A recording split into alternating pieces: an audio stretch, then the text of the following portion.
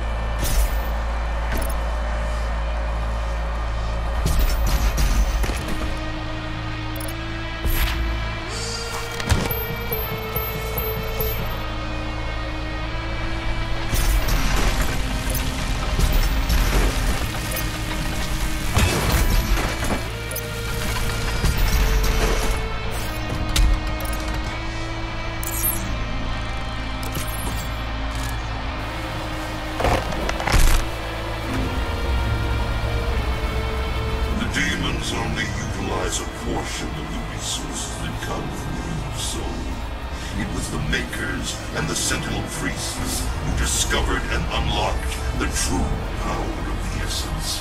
They combine Sentinel and Hell energies together, refined and created large. With it they did wondrous things. Saved worlds from extinction, healed the sick, and gave infinite power to those worthy